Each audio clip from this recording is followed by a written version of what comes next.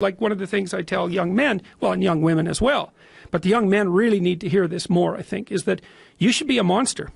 You know, because everyone says, well, you should be harmless, virtuous. You shouldn't do anyone any harm. You should sheath your competitive instinct. You shouldn't try to win.